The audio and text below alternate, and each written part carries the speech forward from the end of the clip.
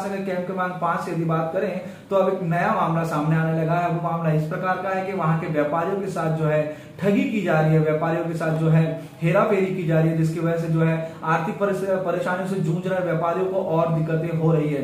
ऐसे में आपने सोशल मीडिया में जो है इसके बारे में खबर भी सुनी होगी, कई न्यूज़ चैनलों में खबर भी सुनी होगी कि किस प्रकार से वहाँ के व्यापारियों के साथ जो है पैसे की लेन देन को लेकर जो है हेरा फेरी की जा रही है, जिसके बाद जो है व्यापारी लगातार गुहार लगाते हुए मीडिया से नज़र आ रहे हैं। और इसी के साथ ही कल ही जो है, हाल ही में एक पक्ष जो कि किशोर नामक व्यक्ति का भी सामने आया, जिसमें उन्होंने ये आरोप लगाया कि मीडिया जो है, एक तरफा खबर बता रही है और जो है, कहीं ना कहीं उसे बदनाम कर रही है। तो सबसे पहले तो हम किशोर जी से ये कहना चाहेंगे कि मीडिया किसी को बदनाम नहीं करती। अगर आप अपना पक्ष रखना चाहे तो आप जो है, खुल के मीडिया के सामने आ सकते हैं। शहर में एक ही मीडिया नहीं है, शहर में कई मीडिया है, हम जैसे लोग भी हैं तो आप जो है, हमसे भी मिल सकते हैं। अगर इस बात, आपकी बातों में सच है या फिर कोई झूठ कह रहा है तो आप जो है, सामने आकर जो है, इसके बारे में कह सकते हैं। ना कि सोशल मीडिया में इस तरीके से आप पत्रकारों पर या फिर न्यूज़ पर सवाल उठा सकते हैं।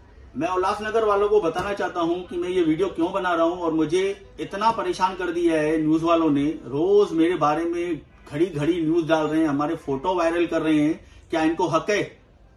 क्या इनको हक है हमारे फ़ोटो डालने के लिए? और ये कौन होते हैं? हमसे जीएसटी नंबर पूछने वाले, ये जीएसटी नंबर ये जीएसटी नंबर हमारा। और ये जो अयूब भाई की बात कर रहे हैं, ये अयूब भाई को मैंने पेमेंट कब की है? ये अदिलाबाद वाले की बात कर रहे हैं। अदिलाबाद वाले की मैं दोनों एलआर सेंड कर रहा हूँ। सेवेंटी फाइव थाउज़ेंड वाले हमारे शॉप पे खुद आए थे। खुद माल पसंद किया उन्होंने। सामने पैकिंग करवाया हैंड डिलीवरी लेके गए। मैं उस रिक्शा वाले रिक्शा वाले का भी नंबर डालता हूँ। आप रिक्शा वाले को पूछो, उन्होंने माल कहाँ डिलीवरी किया? ऐसे ही किसी को बदनाम ना करें। तो ऐसे में जो है ये पूरा मामला क्या है इसके बारे में अधिक जानकारी के लिए हमारे साथ मुरली खटवानी जी मौजूद है क्योंकि इन्होंने इस मामले को जो है उजागर किया था। कई व्यापारी इनके पास शिकायत लेके आए थे। उन्होंने बताया था कि किस तरीके से उनके साथ जो है हेरा फेरी हो रही है उनको जो है परेशानियों का सामना करना पड़ रहा है। सबसे पहले जानना चाहेंगे क्या दिक्कत है क्या है पूरा मामला और इस मामले की शुरुआत कहाँ से होती है? देखिए मैं 25 साल से पत्रकारिता में हूँ और जिन उद्योग से मेरे बहुत सारे मित्र हैं, मैं उनसे जुड़ा हुआ हूँ। बाज़ार में जो हमारे बहुत सारे दोस्त हैं, जो बड़े बड़े व्यापारी हैं करोड़ों करोड़ों रुपए का व्यापार साल में करते हैं, वो हमारे दोस्त हैं, मित्र हैं।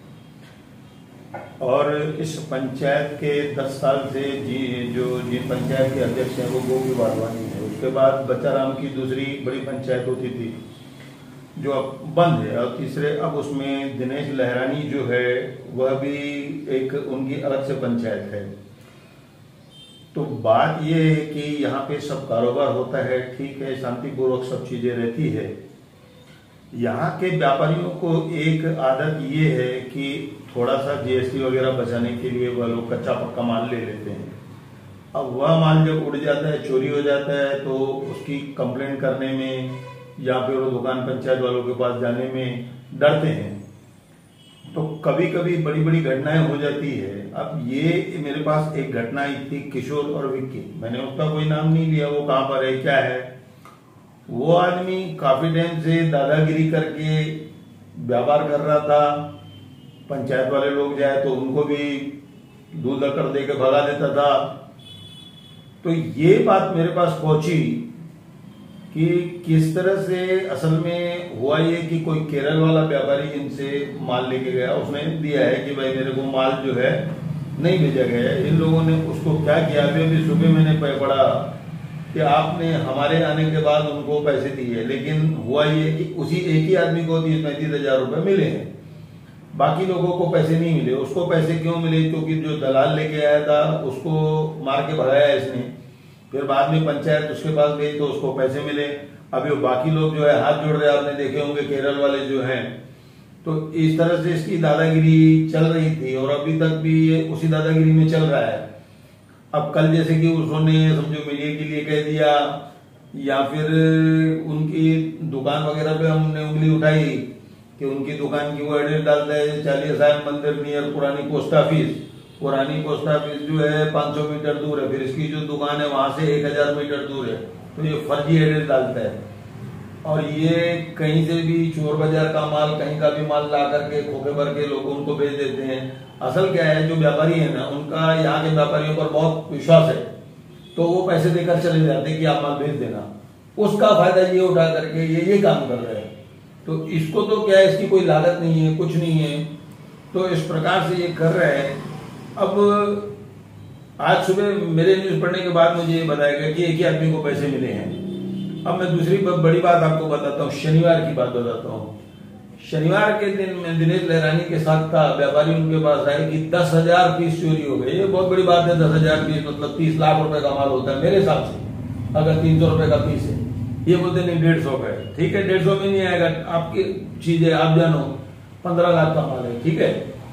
अब आज मैंने जब कंट्रोल की न्यूज़ देखी, वहाँ पे जो ये दिखाया गया अपना करके व्यापारी, एक मुकेश गोलूमल है, वो लिखाते हैं चार हज़ार एक सौ इक्यासी पीस। अब दस हज़ार पीस बाकी कहाँ गए, बाकी कंप्लेंटर कहाँ गए? तो व्यापारी यहाँ पर क्या सोचता है कि जो पंचायत का अध्यक्ष है, वह मुझे सीधा सीधा माल दिला दे, जो भी है, मैं करने के लिए तैयार हूँ।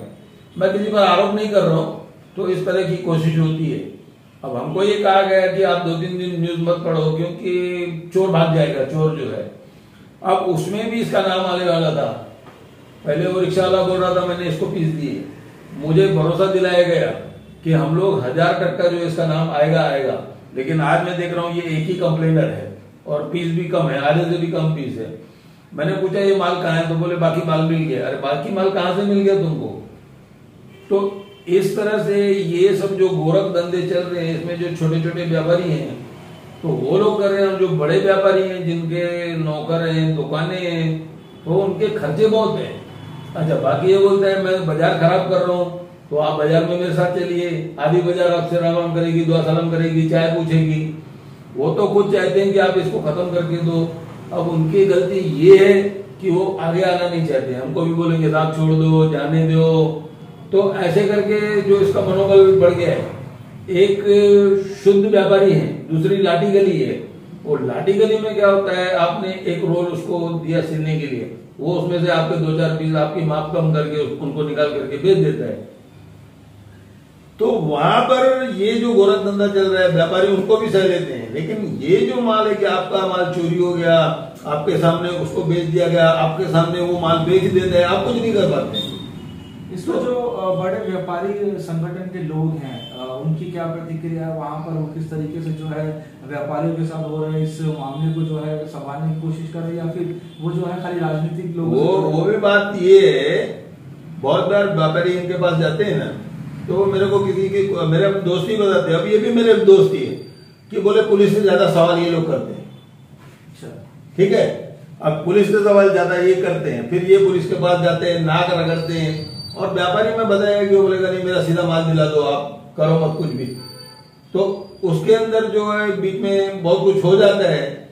इसमें भी ऐसा ही हुआ, जब रविवार को ये कंप्लेंट लिखी गई अब ये जो आदमी है, किशोर और विक्की, शाम को जब कंप्लेंट नहीं लिखी जा रही थी पहले तो गोपी वाधवानी ने लोकल कंट्रोल थाना कंट्रोल डीजीपी कंट्रोल वहाँ तक फ़ोन किए, उसके पीछे अनिल मुखी भी था। तो बहुत सारा दबाव डाले, दूसरी तरफ़ बोले, नहीं, ऐसा कुछ नहीं था पुलिस कंप्लेन लिख रही थी। अब यहाँ मुझे बताया गया कि आधा माल मुझे मिल गए तो इस आदमी का जो नाम आ रहा था, वो नहीं आया अब। नहीं आया तो उसने या तो पीस दे दिए निकाल करके, या तो फिर वो कुछ उसके साथ ये लोगों ने सौदेबाजी की होगी। तो ये सब उल्टे काम कर रहे हैं, जिसके वजह से हमने इस मुद्दे को उठाया कि ये सब चीज़ें खत्म होनी चाहिए। बाकी जो व्यापारी लाठी है, वो सब ऐसा नहीं दादागिरी या नहीं करते हैं। वो शुद्ध काम करते हैं। अगर हम किसी व्यापारी के खिलाफ भूल से पढ़ दिए, हमने तो हम माफ़ी मांगने के लिए तैयार हैं। लेकिन ये आदमी जो है, ये पूरी गड़बड़ कर रहा है बाज़ार के अंदर और इसने पूरी खराबी फैला के रखी है। व्यापारी अपना माल तीन सौ, साढ़े तीन सौ, चार सौ में बेचता है तो ये उससे पचास रुपए कम करता है और खरीदने वाले समझते नहीं कि भाई हम लोग साढ़े तीन सौ में पचास रुपए व्यापारी थोड़ी कमाएगा। और इन लोगों ने अपने दलाल छोड़ रखे जैसे व्यापारी के पास से दुकानदार निकला वो भी मारपीट हुई। उसको दुकानदार को पकड़ के चलो मैं सस्ता माल दिलाता हूँ।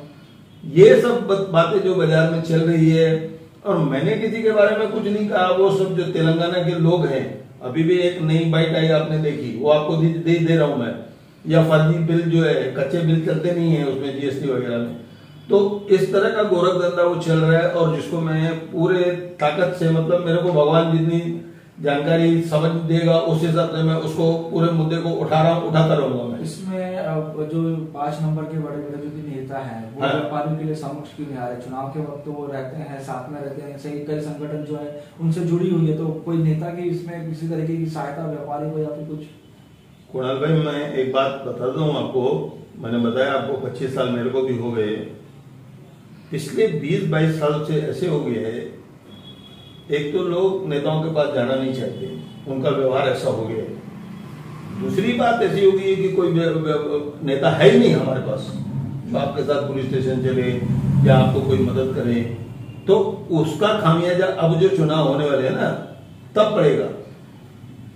व्यापारियों की को या आम आदमी को कोई मदद नहीं है। आपके घर के बाहर कोई कुछ भी कमर्शियल कर रहा है, कुछ भी कर रहा है तो सब अ, कुछ नहीं करते कोई भी कार्रवाई नहीं करते। अगर जिस तरीके से आप जो है इस मामले को उजागर कर रहे हैं इस मामले को जो है आप कहीं ना कहीं लोगों तक पहुँचा रहे हो कहीं ना कहीं इसमें जो है कुछ लोगों को राहत भी मिल जाएगी क्योंकि जब भी जब खबर चलती है उसका असर जो है कहीं ना कहीं होता है। लेकिन जो आप बात कह रहे हैं कि व्यापारी खुल के सामने नहीं आ रहे तो इसमें क्या कहना चाहेंगे? क्योंकि व्यापारी अगर आज छोटी छोटी गलतियों को नजरअंदाज करेंगे इस तरीके के मामलों को नजरअंदाज करेंगे तो आगे चल के यही मामले जो है बढ़ेंगे और लोगों को शय मिलेगी। व्यापारियों के आगे न आने से चोर चोकों की ताकत बढ़ रही है। वो सोच रहे क्या करेगा व्यापारी मेरे को? दुकान पंचायत क्या करेगी? बहुत बार ये दुकान पंचायतों के पास जाते नहीं है। उनको पक्का काम करना चाहिए, क्योंकि वो सामने वाले के ऊपर लगता है। लेकिन ये जो डिफाल्टर जो लोग हैं और कम भाव में बेचते हैं, उसकी मार व्यापारियों पर पड़ती है। इसके लिए बेचारे कहीं ना कहीं व्यापारी भी थोड़ा सा बीस उन्नीस कर लेते हैं। लेकिन उनका खामियाज उनको बहुत बुरी तरह से भुगतना पड़ रहा है, जैसे कि अभी ये दस हज़ार पीस जो मैंने बताया, आपकी कमर टूट जाएगी, आपकी ज़िंदगी भर की कमाई है दस और पंद्रह लाख रुपए, आप कमा नहीं सकते। ये कोई छोटी बात नहीं है, आप दस बीस साल में पंद्रह लाख कमा के घर में रखेंगे आप। ये बहुत बड़ी घटनाएँ चल रही है, और ये जैसे लोग हैं, ये हमको डराने की कोशिश कर रहे हैं। तो अभी तक कोई व्यापारी हमारे पास भी नहीं आया कि भाई आप उठा रहे हो, आप अच्छा कर रहे हो। हम लोग आपके साथ है। ऐसा कुछ नहीं होता है। व्यापारी खुद अपने डर में रहता है कि जाने वो कर रहे हैं ना? वो कर रहे हैं। ये ऐसा करके वो लोग चुप रहते हैं। तो आगे क्या प्रतिक्रिया रहेगी? और पुलिस विभाग की इसमें किस तरीके से जो है कहीं ना कहीं राहत मिल रही है? या फिर पुलिस विभाग के पास जिस तरीके से आपने कहा कि व्यापारी जाना नहीं चाहते वही चीज़ चल रही है? हाँ वो नहीं जाना चाहते। बिना दा, बिना दलाल मतलब बिना जो नेता है उसके बगैर वो लोग पुलिस स्टेशन में जा नहीं सकते। क्योंकि मैं एक खुली बात बोलूँ, बाहर जो हवलदार बैठ रहेगा क्या रे तो व्यापारी उससे डर जाते हैं। हमने ये बात पुलिस निरीक्षक को भी बताई, बड़े साहबों को भी हम जानकारी देते रहते टाइम टाइम पर। तो उसके कारण से कोई बीच में जो एक मध्यस्थ जो है, लेना पड़ता है। और कभी तीन, अभी जैसे इस कंप्लेंट को लिखने में तीन दिन, चार दिन हो गए तो स्थिति ये खराब हो जाती है और व्यापारी जाना नहीं चाहता, इसलिए दस बीस, पचास हज़ार का माल चोरी हो गया। अब एक उस दिन घटना हो गई थी। ऑटो रिक्शा में एक पार्सल रखा गया तीन चोर आए उसको उसकी सीसीटीवी में दिख रहा है वो तीन चोर उठा कर लेके गए। अब वो कब कमाएगा उतना पैसा वो? पचास हज़ार रुपए का पार्सल कब कमाएगा वो आकर? तो ऐसी घटनाएँ यहाँ पर बहुत हो रही है बहुत लोगों को फ़ायदा मिल रहा है इससे। और कोई जानकारी जो कि इस मामले से जुड़ी हुई हो जो कि आगे चल के सामने आए या फिर व्यापारी से क्या अपील रहेगी क्योंकि व्यापारी कहीं ना कहीं गलती कर। ऐसा है कि अब ये तो मोदी जी जैसे हैं, दिन ब दिन पक्का कारोबार होता जा रहा है तो उस हिसाब से इनको चलना चाहिए। उसका फ़ायदा ये होगा, जो छोटे छोटे दुकानदार है, वो खुद ही भाग जाएँगे, जो जिनको तकलीफ़ पहुँचा रहे। जब पक्का काम सामने होगा, सब साफ़ होगा, ऐसे तो किसी दिन ये लोग जो चोरी का माल लेके जा रहे हैं यहाँ के व्यापारी। मैं उन लोगों को भी सावधान करता हूँ। किसी दिन पुलिस उनके पास भी पहुँच जाएगी, भाई तुमने किसको बेचा? पुलिस वहाँ से लेके आएगी उनको पकड़ करके। तो उस दिन तो इन लोगों को ज़्यादा तकलीफ़ होने वाली है ना। इसलिए उनको थोड़ा संभाल करके, जो अच्छे व्यापारी हैं, उनको तो मैं धन्यवाद करता हूँ। जो ये गलत काम कर रहे हैं, उनको बंद करके थोड़ा थोड़ा अपना काम सीधा कर लेना चाहिए वैसा कहूँगा।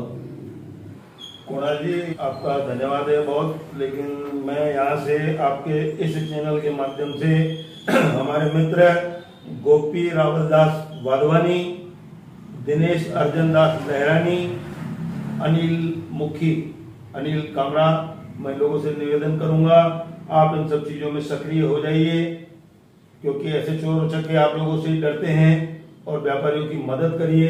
मैं ऐसा कहूँगा और मैं व्यापारियों से निवेदन करूँगा, आप भी इन लोगों की मदद लिए धन्यवाद।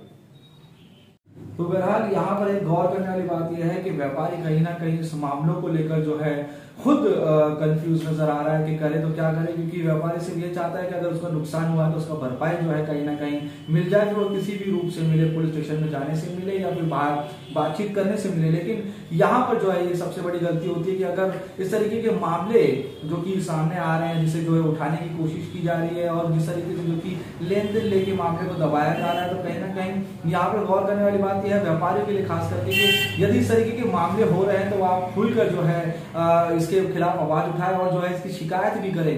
अगर आपकी पुलिस में शिकायत इसकी जल्द नहीं ली जाती तो आपके लिए और भी जो है न्यायिक दरवाजे खुले हैं, आप वहाँ पर जा सकते हैं। लेकिन अगर आज इस घटना को नहीं रोका गया तो आगे चल के जो ये घटना है बड़ा रूप ले सकती है। और खास करके हम ये कहेंगे कि जो नेता है शहर के, वो जो चुनाव के वक्त व्यापारियों के पास जाते हैं और बड़ी ताकत दिखाते हैं कि व्यापारी मंडल के साथ हम है, व्यापारियों के साथ हमें तो आज जब ये पूरा मामला हो रहा है तो कहीं ना कहीं जो नेता है, वो इससे वंचित नज़र आ रहे हैं। और यही साथ में हम ये कहेंगे कि जो व्यापारी संगठन के लोग हैं, वो भी कहीं ना कहीं जो अध्यक्ष हैं वो भी अगर इसके ऊपर शक्ति करे या फिर इसके ऊपर इन मामलों के ऊपर अगर दबाव लाए तो ये मामले कम होंगे। अन्यथा लेन देन की बात अगर आप करेंगे तो ये मामले आगे चल के बढ़ेंगे उसका खामियाजा शहर के व्यापारियों को ही भुगतना पड़ेगा।